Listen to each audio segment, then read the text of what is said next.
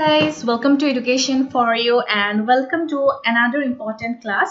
So আজি ক্লাছটোত আমি discuss কৰিম এখন বিলৰ বিষয়ে আৰু এই বিলখন হৈছে Assam cattle preservation bill Assam গো সুৰক্ষা বিল। এই বিলখন ৰিচেণ্টলি আমাৰ চিফ মিনিষ্টাৰে কেবিনেটত উত্থাপন কৰিছিলে।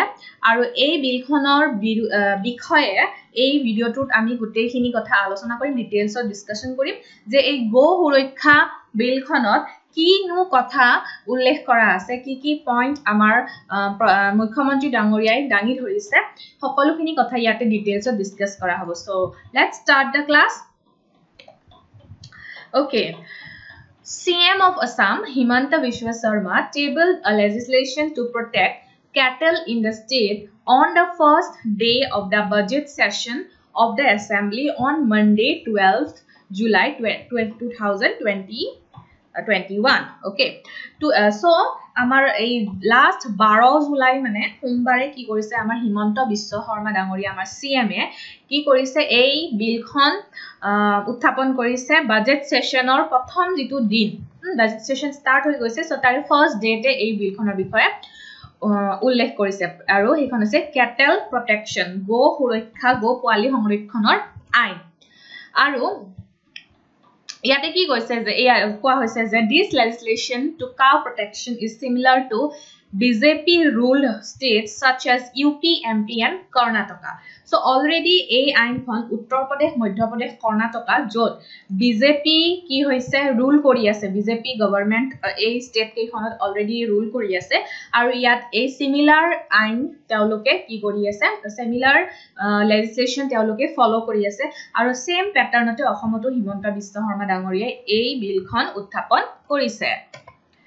এতিয়া এই যে বিলখন উত্থাপন কৰিছে বিলখনৰ মেইন এইমটো কি হয়? এইম অফ দ্য বিল যদি আমি চাবলৈ যাওঁ ইয়াতে দিছে ফাৰ্ষ্ট পইণ্টটো যে it seeks to protect cattle by regulating their slaughter consumption and প্ৰিজাৰ্ভিং দিয়াৰ ইলিগেল ট্ৰেন্সপৰ্টেশ্যন চ' ইয়াতে কি কৈছে? ফাৰ্ষ্ট কথা কৈছে যে এই বিলখনত যিবিলাক মানে গো গো আছে মানে গৰু আছে বা আপোনাৰ গো পোৱালিয়ে হওক তো তেওঁ সেই পোৱালিবোৰৰ বিলাকৰে হওক বা গৰুবিলাকৰে হওক ৰেগুলেটিং দিয়াৰ শ্লট তেওঁলোকৰ যি মানে কনজামশ্যন হয় বা তেওঁলোকক বলি দিয়া হয় এই সকলোবিলাক কি কৰিব বিচাৰিছে আৰু প্ৰিজাৰ্ভ কৰিব বিচাৰিছে বিচৰা হৈছে এণ্ড দিয়াৰ ইলিগেল ট্ৰেন্সপৰ্টেশ্যন যিটো অবৈধভাৱে সেই কেটেলছবিলাকৰ ট্ৰেন্সপৰ্ট হয় এখন দেশৰ পৰা আন দেশলৈ বা এখন ষ্টেটৰ পৰা আন এখন ষ্টেটলৈ ইলিগেল ট্ৰান্সপৰ্টেশ্যনটো মেইনলি বন্ধ কৰিব বিচৰা হৈছে। Okay it provides for prevention of slaughter of cows unless a registered veterinary officer issues a certificate that the animal is fit for slaughter so' যেতিয়ালৈকে ভেটেনেৰী অফিচাৰে কি নকৰে চাৰ্টিফিকেট নিদিয়ে চাৰ্টিফিকেট নিদিয়ালৈকে কি কৰিব নোৱাৰে কোনো কেটেলকে বলি দিব নোৱাৰে হত্যা কৰিব নোৱাৰে গো হত্যা কৰিব নোৱাৰে আৰু ভেটেৰিনেৰী অফিচাৰে যেতিয়া ৰেজিষ্টাৰ কৰি চাৰ্টিফিকেট ইছ্যু কৰি দিব তেতিয়াহে সেই গটো কি কৰিব পাৰিব? বলি দিব পাৰিব বা হত্যা কৰিব পাৰিব for consumption purpose okay only cows over fourteen years of age or those permanently incapacitated due to work breeding accident or deformity will be screed certified for slaughter so' কোনবিলাক কোনবিলাক গো সেয়া স্লটাৰ কৰিবৰ কাৰণে পাৰ্মিশ্যন দিয়া হ'ব যিবিলাক যিবিলাকৰ already চৈধ্য বছৰ বয়স হৈ গৈছে। চৈধ্য বছৰতকৈ কম বয়সৰ গৌবিলাকক এইটো বলি দিয়া বা হত্যা কৰা কি কৰা নহ'ব পাৰ্মিশ্যন দিয়া নহ'ব। আৰু সেইবিলাক গৌ যিবিলাকে মানে বিভিন্ন মানে বহুত কাম কৰি কৰি বুঢ়া হৈ গৈছে আৰু মানে ইনকেপেবল আৰু মানে কাম কৰিব নোৱাৰে আৰু বেছি আৰু বহুত পোৱালি জন্ম দি মানে ইন মানে সেয়া হৈ গৈছে আৰু। চ' আৰু এক্সিডেণ্ট হৈ ইনফেক্ট হৈ আছে বা আপোনাৰ এক্সিডেণ্ট হৈ পেলাই ধৰক কাম কৰিব নোৱাৰা অৱস্থা হৈ আছে আৰু ডিফৰ্ম হৈ আছে চ' সেনেকুৱা ধৰণৰ বিলাককহে কি কৰিব পাৰ্মিশ্যন দিব পাৰিব ভেটেৰিনেৰী অফিচাৰে আৰু সেইবিলাকে শ্লটাৰৰ কাৰণে মানে এলিজিবল হ'ব certified cattle can be slaughtered only at licensed and recognized slaughter houses. So, যিবিলাক মানে licensed আৰু বাৰু চৰকাৰীভাৱে মানে যিবিলাক ৰিকগনাইজ কি হয় আছে স্লটাৰ হাউচেছ আছে য'ত মানে গোবধ কৰা হয় বা হত্যা কৰা হয় সেই জেগাতহে কৰিব পাৰিব যিবিলাক চাৰ্টিফাইড কেটেল হয়। অইন কোনো জেগাত মানে নিজাকৈ কৰিব নোৱাৰিব। যিবিলাক লাইচেঞ্চ থকা জেগাবিলাক বিলাকতহে কৰিব পাৰিব। The state government may exempt certain places আৰু কিছুমান জেগা কি কৰিছে এক্সাম কৰিছে য'ত মানে কি কৰিব নোৱাৰিব এই শ্লটাৰ কৰিব নোৱাৰিব। Like certain places of worship যেনে য'ত মন্দিৰ থাকে মন্দিৰ থকা অঞ্চলত কৰিব নোৱাৰিব। চ' বা সত্ৰ থকা অঞ্চলৰ পৰা বহুত দূৰ পাঁচ কিলোমিটাৰ দূৰত্বত কি কৰিব লাগিব এনেকুৱা ধৰণৰ slaughter houses lot um, slaughter koribo paribo okay so karon to religious purpose ot hoy karon etu oin dharmor jene apunar sikh Jain Hindu Buddhist এই যিহেতু বাকী কেইটা ধৰ্মই কি নাখায় কেৱল খ্ৰীষ্টিয়ান এণ্ড আপোনাৰ ইছলাম ধৰ্মৰ মানুহে গো ভক্ষণ কৰে বিফটো মানে কনজিউম কৰে চ' বাকী যিবিলাক ৰিলিজিয়নৰ মানুহে নাখায় ত' তেওঁলোকৰ ৱৰ্শ্বিপ ৱৰ্শ্বিপিং এৰিয়াৰ পৰা বা ৰেচিডেঞ্চিয়েল এৰিয়াৰ পৰাও দূৰত্বত কি কৰিব দিছে এই শ্লটাৰ হাউচেছবিলাক বিল কৰিব দিয়া হৈছে। অ'কে এতিয়া কি কৈছে এতিয়া what are the propose restrictions in the transportation of cattle এতিয়া এই যে কেটেলবিলাক ট্ৰান্সপৰ্ট কৰা হয় এখন ঠাইৰ পৰা আনখলৈ তাত কি কি ৰেষ্ট্ৰিকশ্যন চৰকাৰে দিব বিচাৰিছে? First point ut koise je the bill proposes to ban the transportation of cattle from outside the state. Mane Assam or bahiror state or pra transportation bondho sampurna rupe ei cattle or aru within Assam ekhon district or an ekhon district leke transportation bondho kori dise aru jodi transportation koribo loga hoy tetia hole permission lobo lagibo logia hobo. Yate koise je a competent for transportation of cattle or bona fide agricultural or animal husbandry purposes as per the Prevention of Cruelty to Animals Act 1960. So, unneho sati sonor Prevention of Cruelty to Animals Act a ankhanor odhinot kebal matro agricultural purposes mane krishi bhittit ba jodi mane পোহনীয়া হিচাপে মানে animal হাজবেণ্ডৰী টাইপত পাম খুলিবৰ কাৰণে farm খুলিবৰ কাৰণে যদি ট্ৰান্সপৰ্ট কৰা হয় এখন ডিষ্ট্ৰিক্টৰ পৰা আন এখন ডিষ্ট্ৰিক্টত ৰাজ্যখনৰ ভিতৰত তেতিয়াহ'লে অথৰিটিয়ে কি কৰিব? কম্পিটেণ্ট অথৰিটিয়ে ভেটেনেৰী ডিপাৰ্টমেণ্টৰ পৰা তেওঁলোকে পাৰ্মিশ্যন লৈ পেলাই এইটো ট্ৰান্সপৰ্টেশ্যন কৰিব পাৰিব।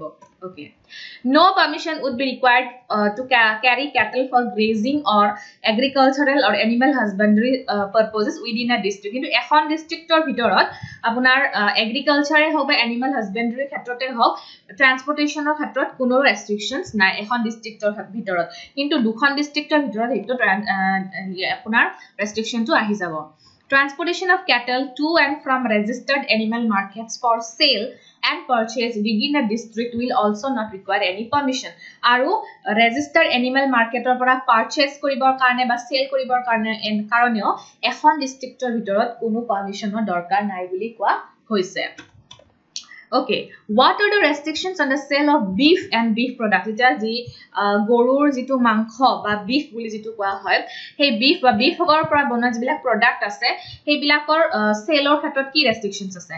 Number one, no one will be allowed to sell beef or beef products in any form except at places permitted by the government. So government te permission diya thai the beef ba beef products sell koribo paribo.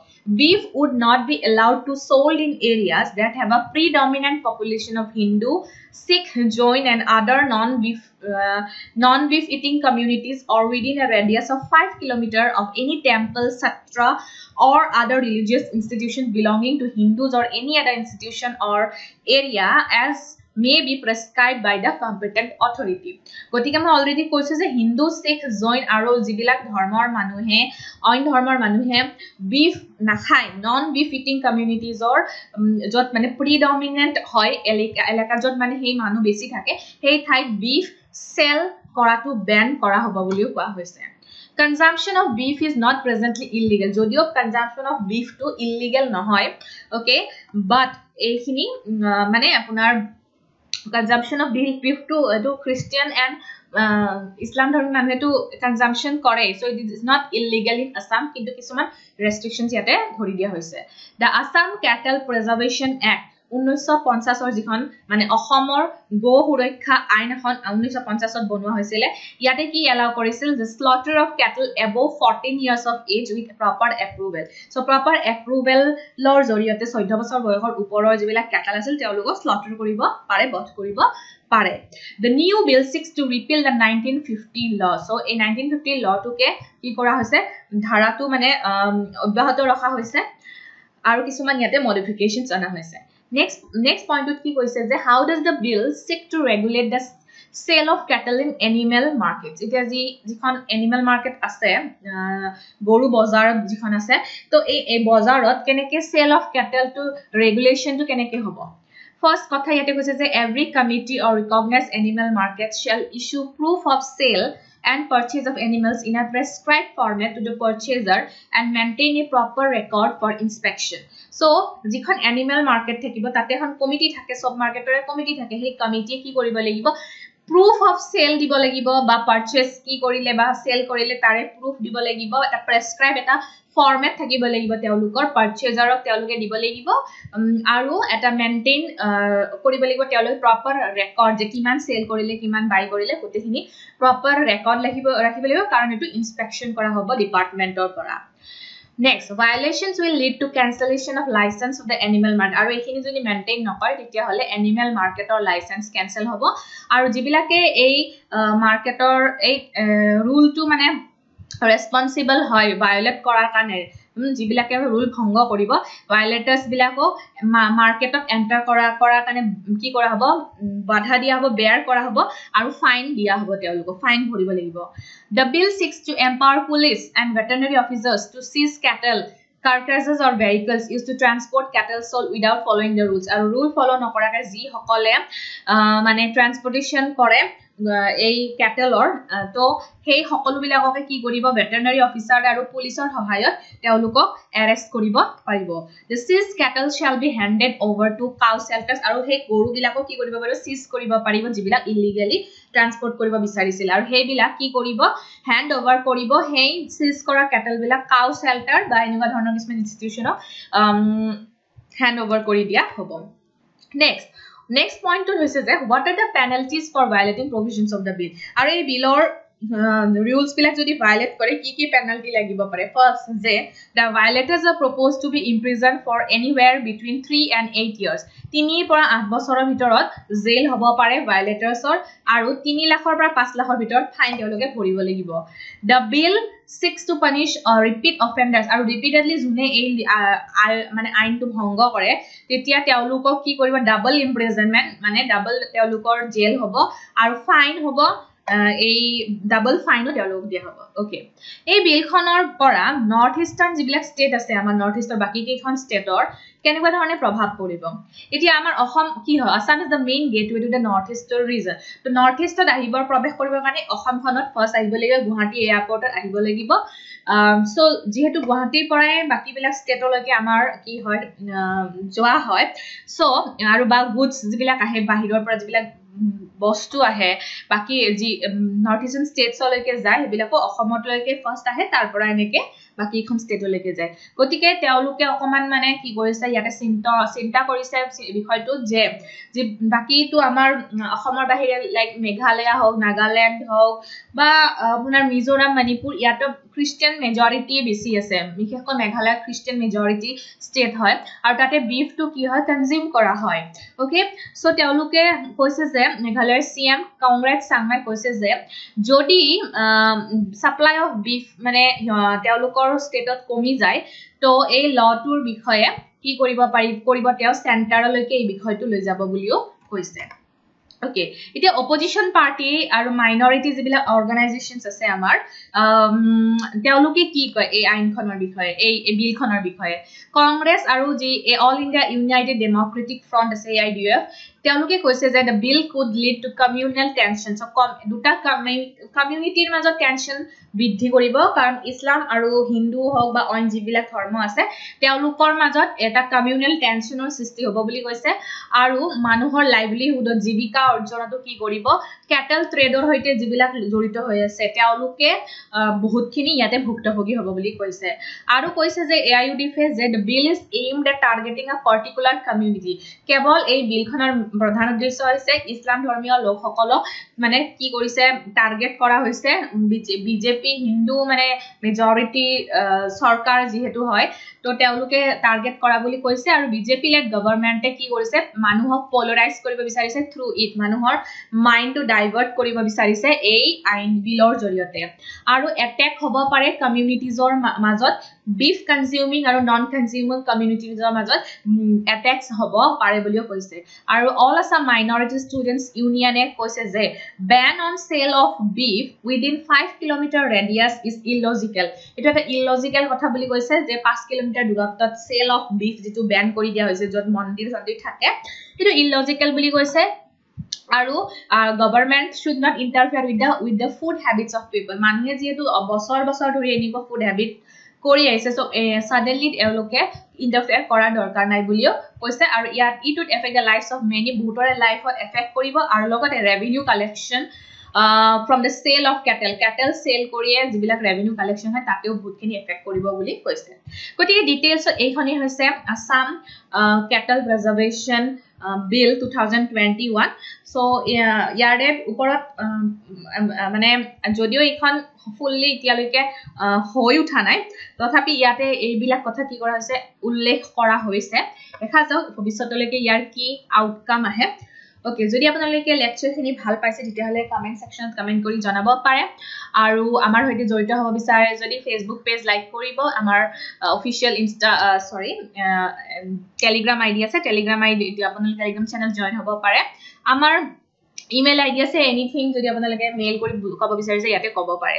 চ' ভিডিঅ'টো চাই যদি ভাল পাইছে তেতিয়াহ'লে like কৰিব comment কৰিব subscribe কৰিব আমাৰ চেনেলটোৰ লগত থকা নটিফিকেশ্যন বেলটো প্ৰেছ নকৰাকৈ নাথাকিব আৰু লগতে ভিডিঅ'জবিলাক আপোনালোকৰ ফ্ৰেণ্ডছ এণ্ড ফেমিলিজৰ সৈতে আপোনালোকে শ্বেয়াৰো কৰিব পাৰে। চ' থেংকছ ফৰ ৱাচিং the video' and have a nice day